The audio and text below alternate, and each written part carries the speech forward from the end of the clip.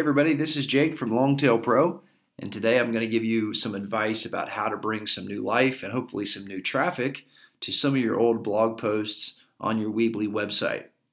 Now, I've been a Weebly Pro customer myself uh, with some personal websites, including the one that you're looking at, ballparksavvy.com, uh, which is a site about going to baseball games that I started back in 2008. Um, just some no nonsense guides, basically, um, to going to Major League Baseball stadiums. And so that's sort of my experience with Weebly. Well, something that they added uh, more recently, um, since I started this site, was the ability to, to change some of your advanced settings in your blog posts. So I'm going to show you how that would work, um, especially if you've been around for a while, or even if you're newer to Weebly and you've just never noticed it, because it is very important.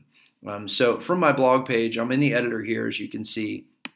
I'm just going to click on a past month, so February 2013, and who knows what I was writing about back then.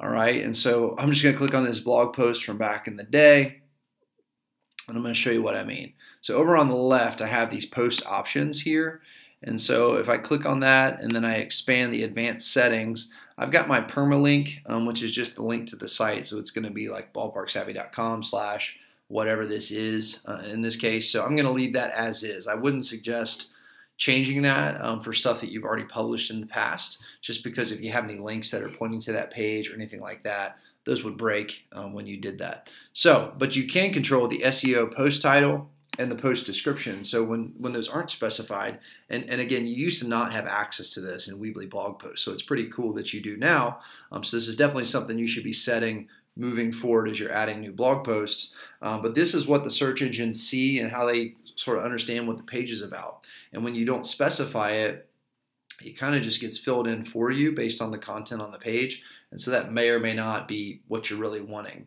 The reason this is important is because a lot of your content should be focused on specific keywords, and that's what we talk a lot about at Longtail Pro. And that just means, you know, you're focused on trying to rank for specific things in the search engine. And so by being able to put in your own title and your own SEO description, you can really hone in on those keywords you're trying to target with this blog post. So I can write out a really good compelling title, a really good compelling description, hit update, and it's going to save my settings there.